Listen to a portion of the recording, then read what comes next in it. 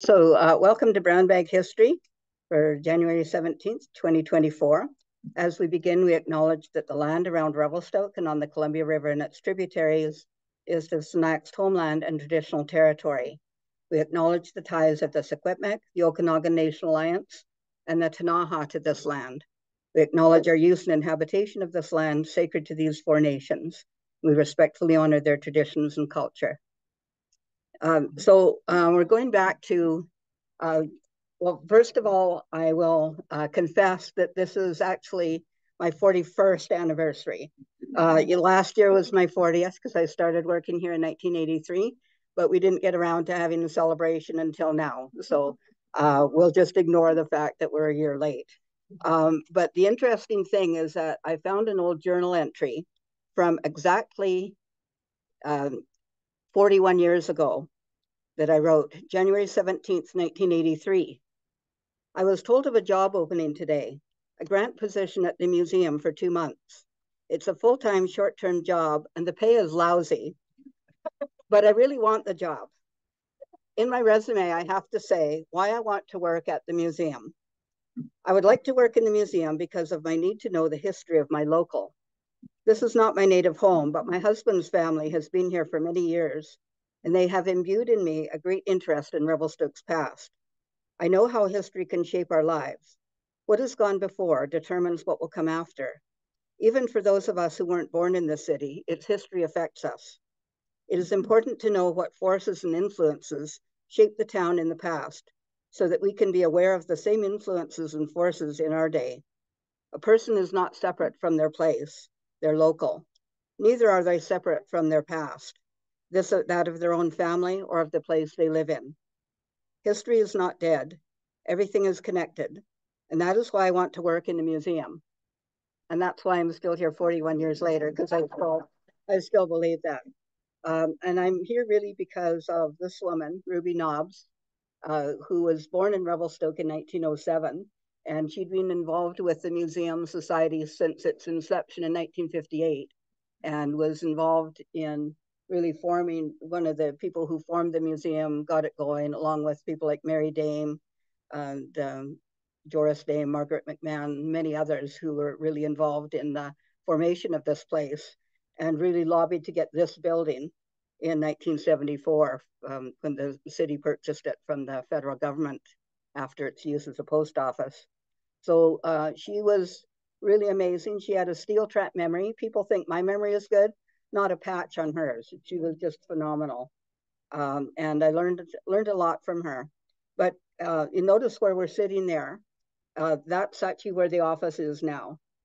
Uh, because for probably the, the first uh, 30 years that we were in this building, we were kind of just making it, making you, making do with the post office building. It wasn't until 2004 that we created the front area that we have now in the gift shop area. So it's been a, a long, slow process. Um, over the years, I think, you know, I've really, really been influenced by the people that I've met. And, um, you know, people ask me why I love working here, and it's because of the connections that I've made with people. And this man here is a man named T.E.L. Taylor. And the man on the right is his grandson, uh, Tom Taylor, who lives lived in West, West Vancouver. And um, Tom and his wife, Margaret, came into the museum. Probably I'd only been working here a couple of years or so, so mid 80s. And uh, Tom said, looking for information on my grandfather. He was an early pioneer, early businessman in Revelstoke. And I said, Oh, is that T.E.L. Taylor? And he said, Yes. How did you know that? I said, Well, because you look like him.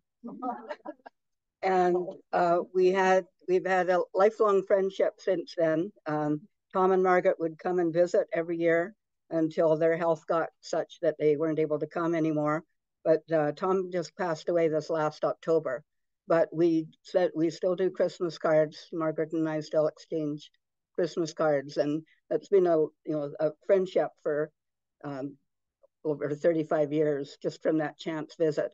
And actually, I've done that another time too. There was a fellow came in and said he was looking for information on his great grandfather who was a minister in Revelstoke, and he wasn't sure whether we would have anything or not. And I said, "Oh well, was it C.A. Procunior?" And he said, yes. How did you know? And I said, because you look like him. and that really astounded him because he had never seen a picture of his great grandfather because there'd been a split between his grandfather and great grandfather. And he didn't even know until just before his visit here that his grand great grandfather had actually lived in Revelstoke. So it was a whole whole discovery. So it's that hasn't happened a lot, but it's pretty fun when I can do that and surprise people. Um, this is an, another uh, family that that came. The couple on the left are uh, Jim uh, Mundy and his wife, and they had come from the States uh, to find out information on his grandfather, who had founded the Mundy Lumber Sawmill at uh, Three Valley. And Ruby right away called this gentleman in Vancouver and said, You need to get up here because his name was Mundy McCrae. And he was named after this man's grandfather um, because there, his uh, Mundy McCrae's father, uh, Alex McCrae, and Mr. Mundy had been partners in the lumber business. So the youngest son got named after after Mundy. Um, so another just amazing encounter with with locals. Uh, this is one that I was really excited about. Um, the man is uh, Lawrence Hultengren, and he came in and he said, um, my uncle moved to, to Revelstoke in the 1880s, but he probably, I think he went by a different name. I think he went by the name Charles Holton. Well, I got really excited about that because, you know, the, the Holton house at the end of First Street West and the Holtons were, you know, very prominent family here, but he was kind of a mystery man. And when I tried to research him, like in the, the census records and that, his um, date of birth, his place of birth, his nationality changed in every single record. Uh, so there with the, with the nephew, we were able to find out that he was when he was born. He was born in Sweden, not in the states as he had had noted. Uh, his actual name was Carl Holtengren.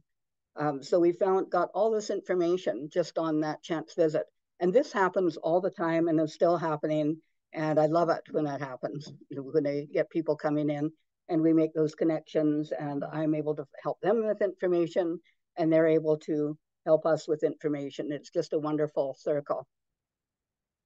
Um, this is probably, I've been in the paper a lot. I'm not crazy about having my picture in the, in the paper, but it happens a lot, part of the, part of the job. Um, but this is probably my favorite picture um, in the article. Uh, that's the the grizzly bear that was uh, donated was actually left to the museum in somebody's will. And um, so we have the had it in the collection, but for a long time it was uncovered. So people were touching it all the time. And the caption says, to be properly protected, Cathy English, museum curator, said this bear should be enclosed in glass, but a do not touch sign is a short-term measure. And I like the way that was written because if you get rid of the words said this bear, I like the way that reads. To be properly protected, Cathy English Museum Curator should be enclosed in glass.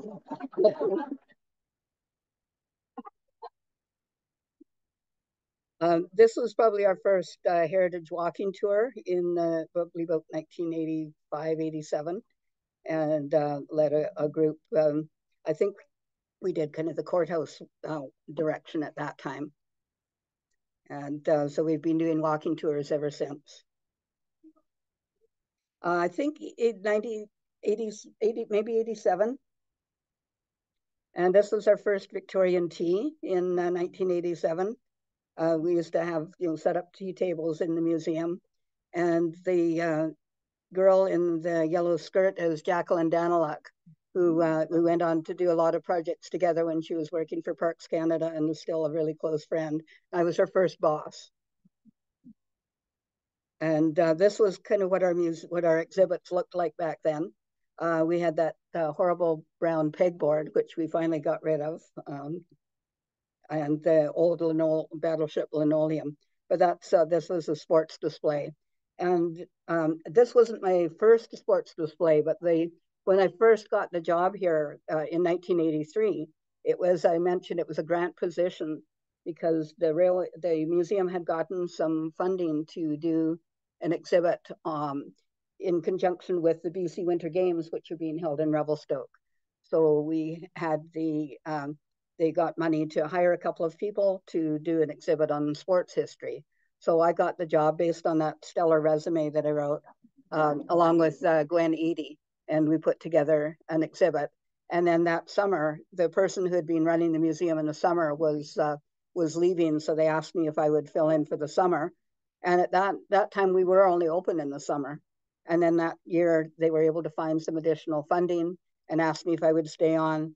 Um, Mandy, doing research for the uh, Glimpses of the Past article, found one where the it said the Historical Society was saying that um, they were hoping that Cathy English would come back as their curator uh, in the spring because they thought she would be excellent in that position. So um, I guess I was.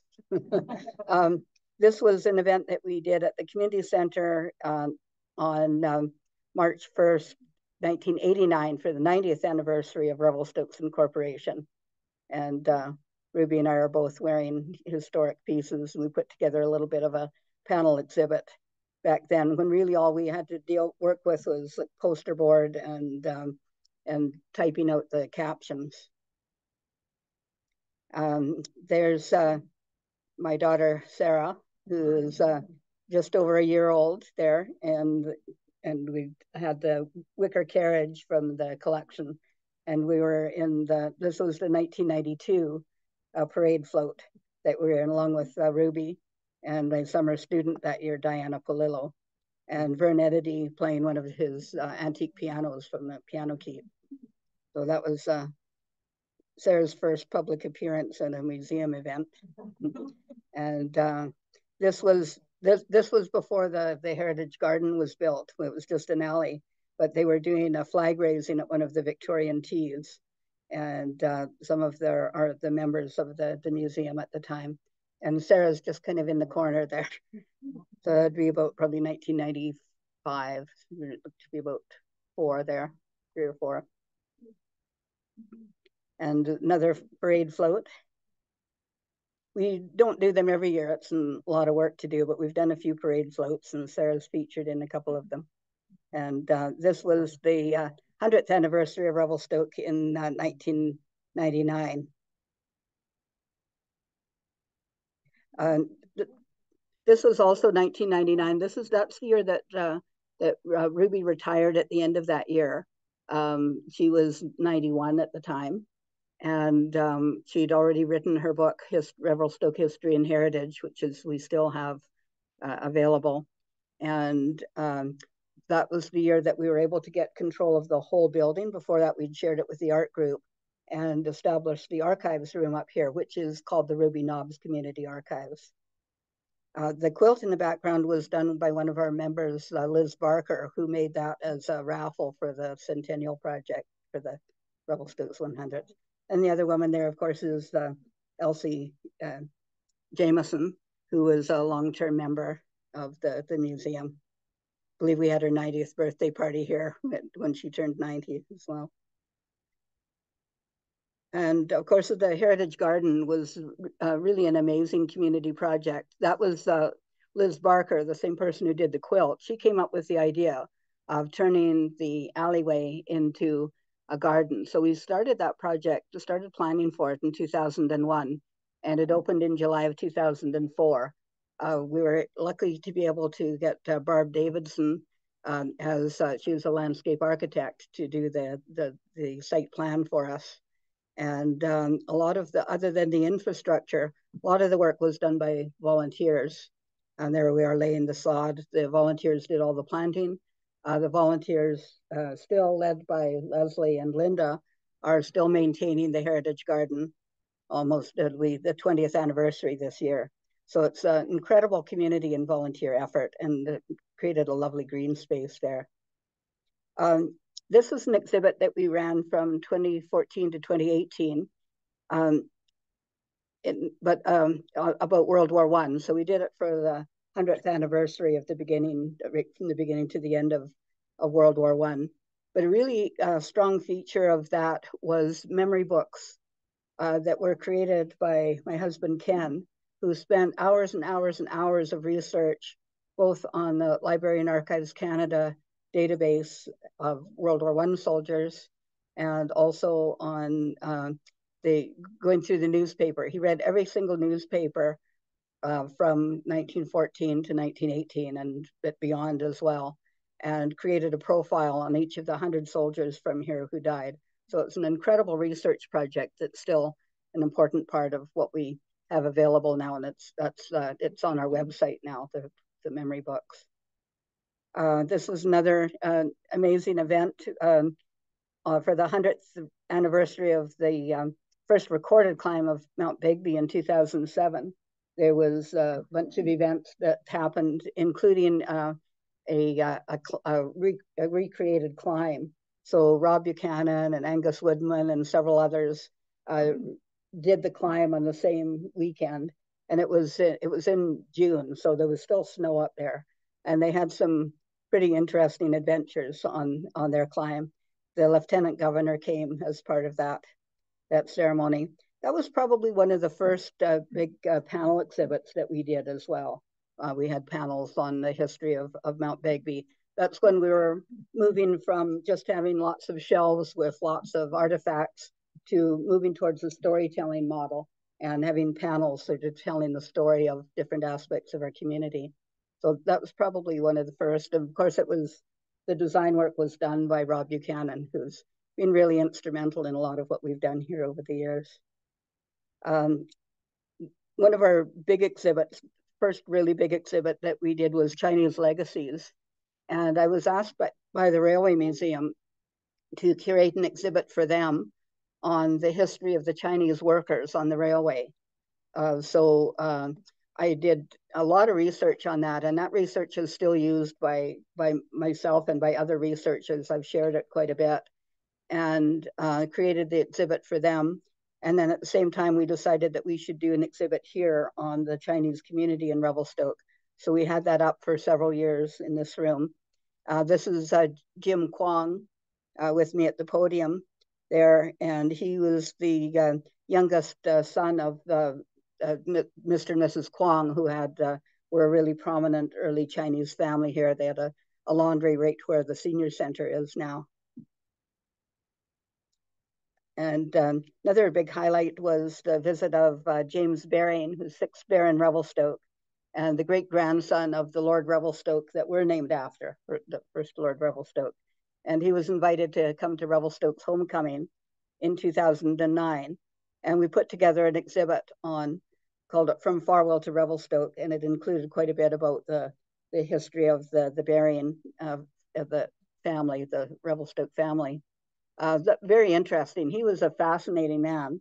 Um, he had um, was it was living in France for quite a few years, and he'd started probably the first organic vineyards in in in Europe. Um, and uh, he was also at one point he owned the, uh, the studio in uh, Abbey Road where the Beatles and Rolling Stones recorded some of their music. So he was involved in the early music scene. He was uh, a pioneer in uh, aviation in the UK and um, was also a pioneer in the establishment of the protocols for the internet. So very, very interesting man. He had opinions on absolutely everything. Um, he was everything that you would expect a British lord to be. So he didn't disappoint in that. A really, really lovely fellow. Um, this this um, picture sort of leads into a really big story and probably one of what I consider one of the most important projects that we've done here at the museum. Uh, I met with, uh, this is a contact through, came through the Japanese consulate and they had contacted a man in Kamloops, who part of the Japanese community, and he'd contacted me because his family was wanting to come and see where their great uncle had died. That their the great uncle was one of the victims of the 1910 March 4th uh, snowslide. So uh, they made a, a, few visits here, and it was really meeting them that made us think about doing a big commemoration for the 100th anniversary of the the of the the snowslide, and um, so as a result of that, we worked with uh, uh, Parks Canada, Friends of Mount Revelstoke and Glacier, the Railway Museum, uh, CP, City of Revelstoke, and did this incredible commemoration. There were probably about 800 people there at the, the plaza because we had 500 candles and they ran out and uh, right near the beginning of, of the, the ceremony. Um, you can see the, the cranes there. There were more than 10,000 paper cranes that were made by people in Revelstoke, people in Japan, people all across Canada, all the school kids, all everybody in the care homes, the um, militia, the military at, uh, located at Rogers Pass. Everybody was involved in that, and uh, we actually walked the the cranes from the parks office up up to Mackenzie Avenue and up to the plaza, uh, where they were strung across there. And um, when we walked them, we were there was about ten people that had to carry them because they were such a long string and they were so heavy. And the Yamaji family uh, preceded us uh, that wearing their in their traditional in their kimonos that preceded us up to the plaza. Um, in when the event happened back in 1910, all of the uh, ceremonies were were Christian, but we included a Buddhist ceremony as part of the the ceremony uh, for the commemoration to honor the 30. Uh, 32 Japanese men who had died as part of the 58 um, was very, very moving. Um, there were so many moments of um, just sort of grace um, and unexpected moments. Uh, we had two people reading off the names of all of the men who died, and the person who was reading all of the the names of the Caucasian workers, uh, her name was Julie Lawson, who's a children's author, and her grandfather was the roadmaster on the accident, and her great uncle was one of the men who died. So the very first name that she read, and they were alphabetical order, so this was not planned. The very first name that she read was her great uncle. And Mr. Yamaji was reading the Japanese names. The very last name that he read was his great uncle. It was just one of those moments that sort of sent shivers up us because it was completely unplanned and unexpected. But um, I, th I, think with this one, it made me realize that honoring people's memories is probably one of the most important things we can do at the museum. And this was probably the, the best example of that and how that, how that uh, came about. And it was continued in the summer when the um, Parks Canada created a memory garden at Rogers Pass. And uh, there were, by that time, there were other Japanese families who'd other, also come out for the event and participated in it. And then that evening, there was uh, uh, lanterns that were let out into the, the river at the boat launch. And each one of them had the names of one of the, the men who had died in the accident in the event. So uh, again, very, very moving. And uh, it just really felt like we were honoring the spirits of the people who had died. Uh, another big event we had was in 2010. It was the 125th anniversary of uh, uh, Farwell, and we had a big event down in the park. We had uh, old-fashioned kids races and all sorts of things going on down there, activities. there's Haley there, who was our project manager for that. Um, Peter Waters was our town crier. Uh, a lot of people, we, a lot of people really had fun with this one. We did a royal tea for the uh, wedding of Prince William and Kate Middleton on April 29th, 2011. And uh, so we were encouraging people to wear dress up and wear hats and fascinators. So people didn't disappoint us. They really had fun with that. Did a little display about the, the royal family. And um, Mary Lee Plandon, who was our office manager at the time, was uh, doing a lot of the planning for, for that event. So that was a really fun one. Now, I think this is probably our first Jose cake that we had. I tell people that we only do exhibits so that we can have uh, an exhibit opening with a cake by Jose. Um, and um, so I think the first one that she did was for our David Thompson exhibit. And again, that was one of our early panel exhibits, and we still have that one out in the hallway here. And um, that uh, cake, the, we have um, uh, waves made out of jello and there's actually birch bark around the edges of the cake and uh, a, a, a, uh, little little canoe, cedar canoe. So um, that, uh, it, but it was it was a significant exhibit too. Uh, I was working at that time with designer uh, Catherine Whiteside. She did a lot of our, our early exhibits, Um, and uh, so, as I say, it's still out there and is just a really important part of the history of this region. So it was um, sort of the beginnings of learning how to do panel exhibits and tell that tell those stories. Um, of course, we've done a couple of books over over the years. The first one was Reflections of uh, photographs of Earl and Estelle Dickey. And then in 2011, we did the first tracks book, uh, which also uh, turned into an exhibit as well. And there's, we actually had like a conveyor belt going down the stairs with people passing the books all the way down because uh, we had uh, 2,000 books, so it took a while to get them all into the building. And uh, it also spawned a cartoon by Rob Buchanan. And I'm always really excited when we manage to get a Rob Buchanan cartoon. This one says, is that the lineup for opening week at the ski hill? No, it's the lineup to get a copy of the museum's coffee table book on the history of skiing in Revelstoke.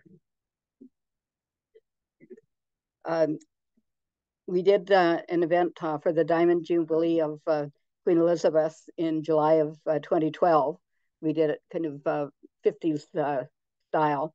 And of course, there was nobody better to, we did, I did a little script with, with the Queen talking about her visits to Revelstoke and nobody better to do that than Helen Grace. Although she decided not to use her British accent, which is probably a good thing. Um, and there's with uh, Cheryl Wolgram on that same day, we had uh, the Vintage Car Club did a display with some of their vehicles from the 1950s era. And again, it was just you know fun event. Lots of people involved in that. We had our our uh, kids the, from the the children's program involved in doing some some songs. Uh, just a just a lot of fun. We had Terry and Venka Beidel teaching people how to do swing swing dance. Uh, so just lots of fun. In uh, April 28th, 2014, we did the 100th anniversary of Mount Revelstoke National Park. I've got Fred Olson and his two granddaughters there admiring the cake. Fred was the grandson of the first uh, warden of the park, Fred Monder. And I believe that's another Jose cake there. yeah, the, with the the mountains, they're yeah, they're absolutely fabulous.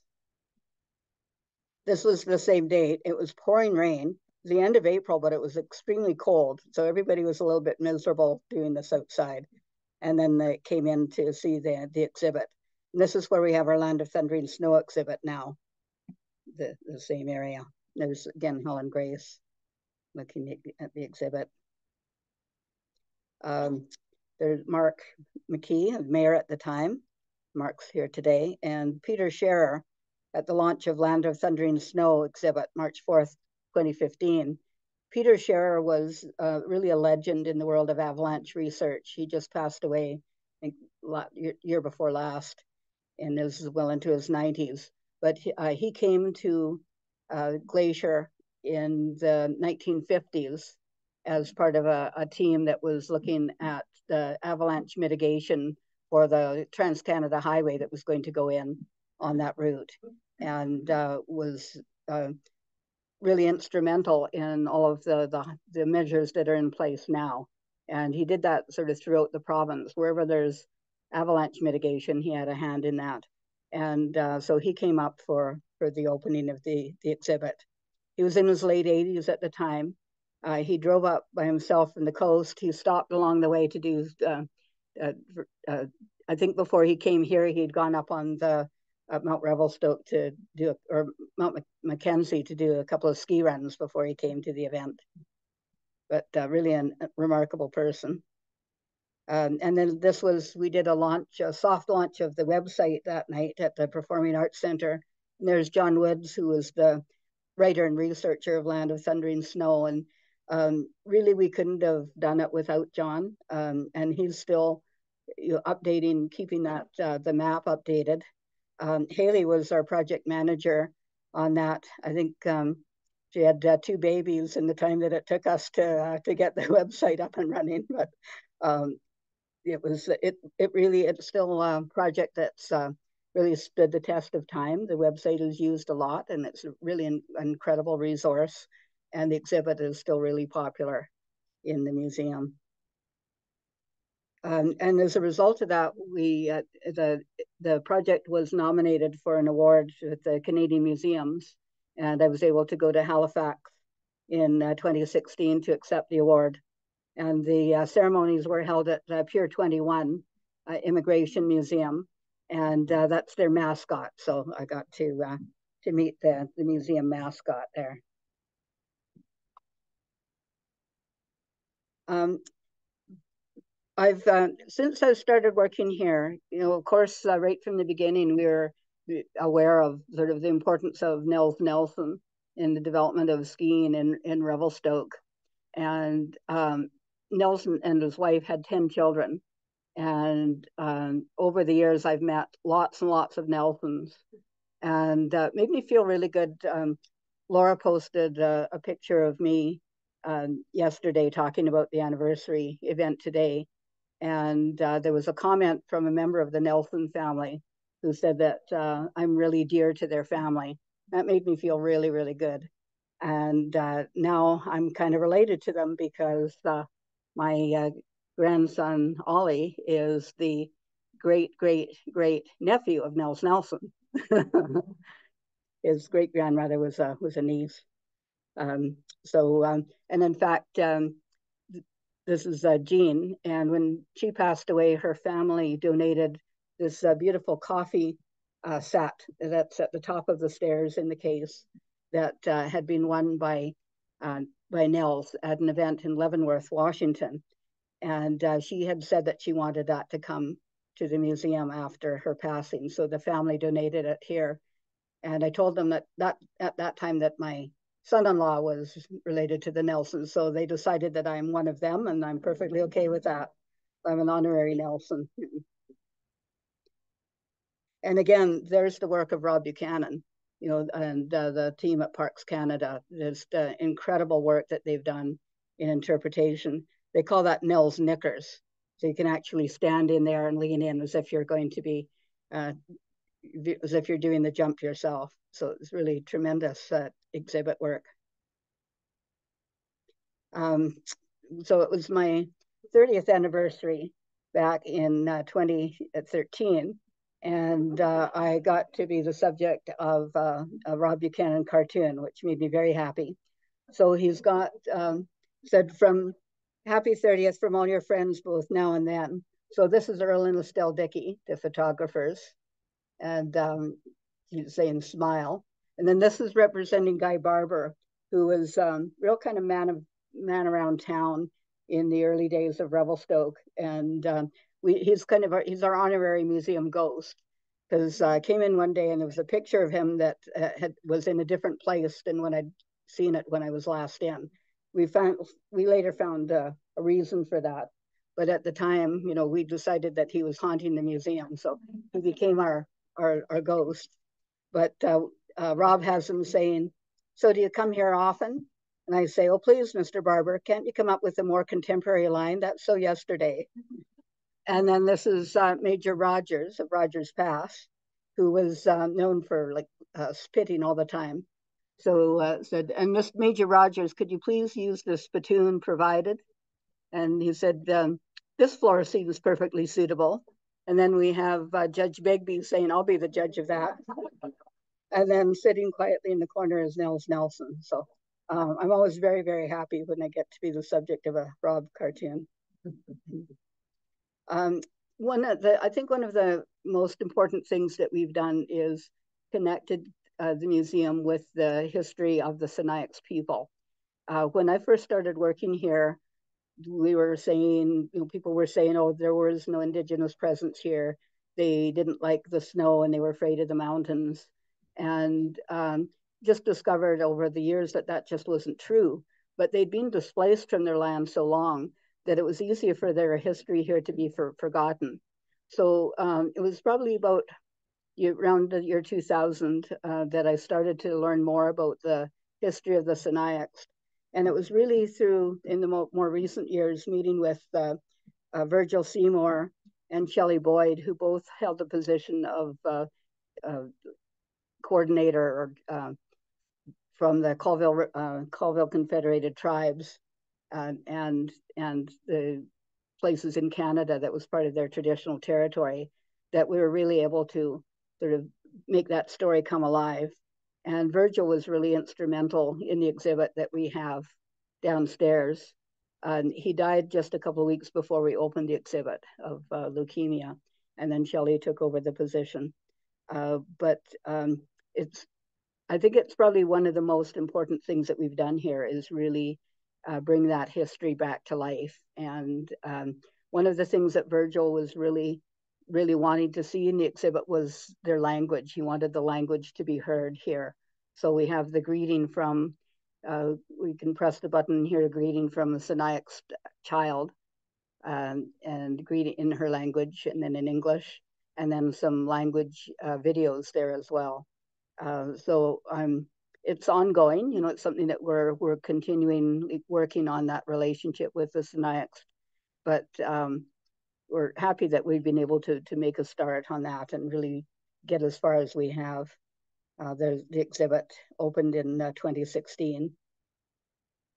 And a lot of those elements are there because Virgil wanted them there. This, he said he wanted us to talk about the, the salmon, which are no longer running on the Columbia River. He wanted us to include this um, piece by uh, by Chief Bernard, um, and so it, was really led led by by him and by the nation. Another thing that's been really important to to me was the uh, creation of the film uh, "Kiss in the Wind," and it started with a phone call from the filmmaker Nicola, who had discovered that his great grandfather had died in the building of the Connaught Tunnel in 1915. And the, Nick, the Angelo Conte, his uh, great grandfather, had come to Canada to work, but his wife had stayed in Italy and had her had a baby girl after Nicola had, or after Angelo had come to Canada. And um, Nicola had recently come into possession of uh, letters that were written by his great grandfather to his great grandmother and they would end with "I send you a kiss in the wind." So he is a he is a filmmaker, he's a professional filmmaker. So he came to Revelstoke to do this film, and um, we did a premiere of it at the Performing Arts Center in in 2017. And every year now, Jacqueline Daniluk and I go up to Angelo's grave on October 15th, which was his date of death, and take flowers and then send pictures to Nicola. So we've continued that connection as well. So it's all, all those connections and and being able to continue those connections and keep them alive that's been really important. Um, this was this was absolute fun. This was the suffragettes tea in uh, June 2017. We worked with Anita Halawas and the uh, the Lion Arrow Productions, and uh, she took our the historic material and wrote a script. So we had the suffragettes who um, had their all their signs made up, and they uh, came through. They walked through Grizzly Plaza uh, through the farmers market. Uh, really surprised a lot of people who weren't expecting to see suffragettes when they were out buying their vegetables. And they paraded down to where we had a tea going on and where we had Graham Harper representing the Premier of BC giving a, a speech. And the suffragettes came and interrupted him and uh, we had a couple of, we had a plant in the audience. Uh, Andy Parkin was an anti-suffragist who was uh, heckling all the suffragists from the from the tea tent. And uh, Kelly Zerba was a, a, a, a, fire and brimstone minister who was against women's suffrage. Um, so, uh, and I love this picture here. We've got Jill McLaughlin getting very riled up about the, the, the cause of women's suffrage. Just super, super fun event. And uh, they actually did it twice because we did two sittings at the tea. So the, the actors were were superb. We even had um, little York Parkin as the um, the male, uh, the newspaper boy, and he was handing out a little flyer that we'd made for the event too. So just absolutely incredibly fun.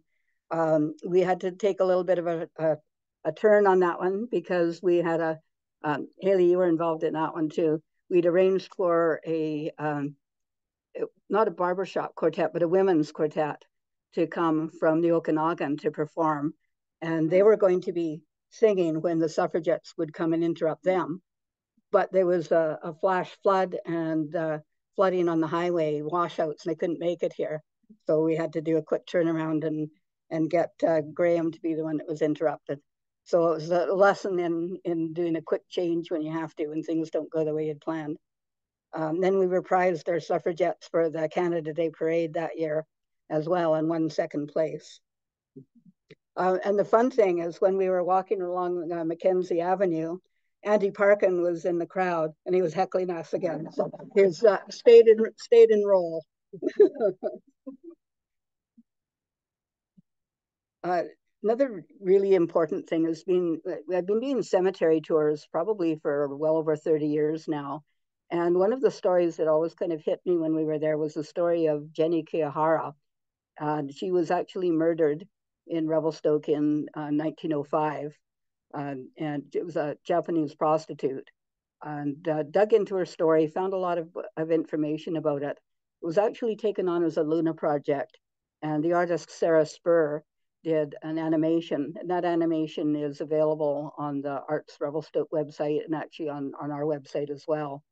And as part of the project, we wanted to uh, redo her marker. Wanted to keep this is the original marker, but it was on a base of uh, sandstone that was actually eroding away. You could see over the years how much it, it eroded. So this is the new marker that's up there now. And it's really honoring her memory and telling her story a little bit more. Because all it says on there is Jenny Japanese. And that was part of you know what made made it a compelling story.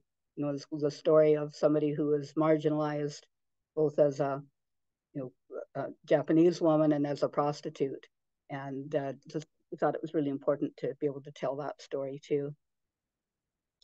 Uh, the, another uh, really exciting project we did uh, was the um, filming of Washed Away.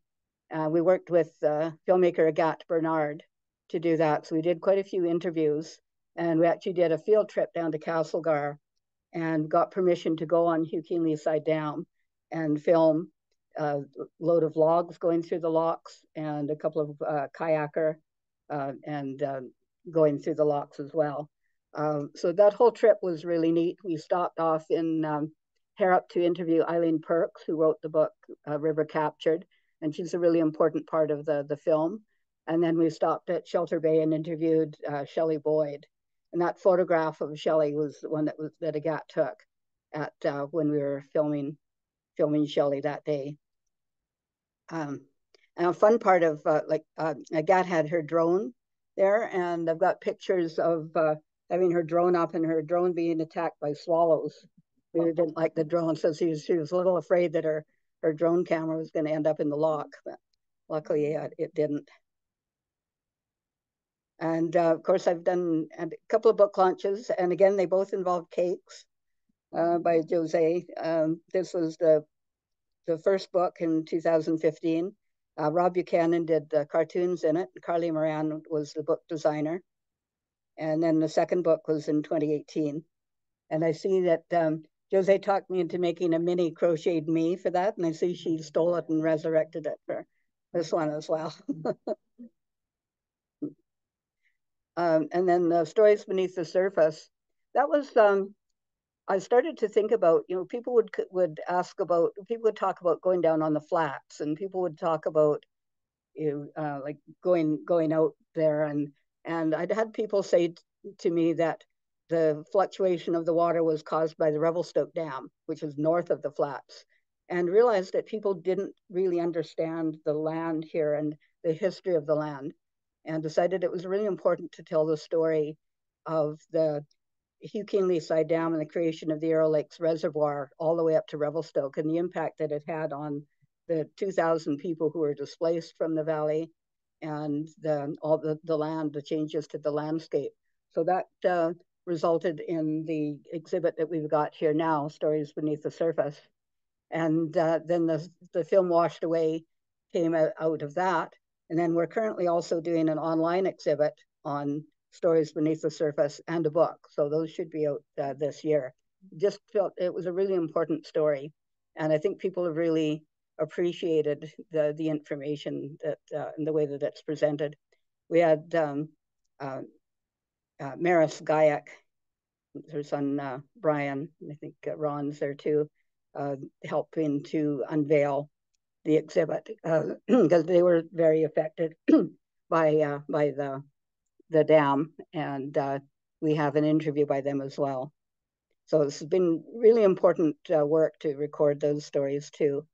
Um, we had a fun event in um, the 120th anniversary of Revelstokes Incorporation uh, called uh, Citified and Mystified. And I had a lot of people playing uh, different characters. We did a little uh, little uh, mystery. And um, this was a, a, a young woman who had come in that day to get her costume and had this beautiful long flowing blonde hair. And then she showed up that evening with her hair back and a mustache. Um, but the actors really got into the roles, had super lots of fun with it. It was just a super, really, really fun event. Um, one of the things that we've been able to do in the last little while is connect with the the the the, the Japanese community. Um, with uh, Harumi working here, she's been able to do a lot of research. We've been able to gather information from uh, the families that lived here both before and during the war. And one of the stories that I found really fascinating was discovered through some research, and it actually came from a query from um, Tomo um, uh, Fujimura, who's done a lot of research with us and a lot of work on the 1910 project. And uh, he had information about somebody from the Amano family who had died. So I did a bit more research into it and discovered that they had actually had a soy manufacturing business in Revelstoke. And in fact, in the, the space where Mark and Pat just built their new building on Second Street West, that was uh, the old building that was there that became the, the meat lockers and part of the red and white store. That was actually uh, was running as a soy factory. And um, through the research, we uh, were able to contact, so the younger son of the family, Shigeru, went to high school here. And this is his son, Graham, and his wife, Linda, who still are manufacturing miso and soy products under the name Amano in Vancouver. And he didn't really know anything about the, the Revelstoke connection. So I was we were able to share information and and pull that story together too. So that's another one that's been was really exciting to make that connection.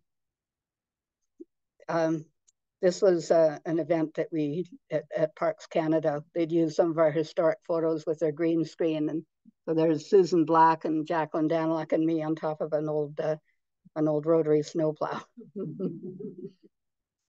and we'll end with this one of uh,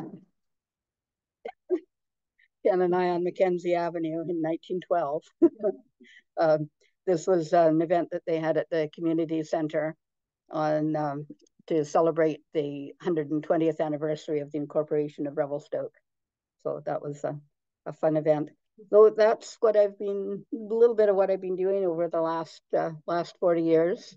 Um, we're continuing our, the big thing that we're working on now is something that we're really excited about. Um, Bill and uh, Jan and all of our board are really involved in working to get a vertical platform left.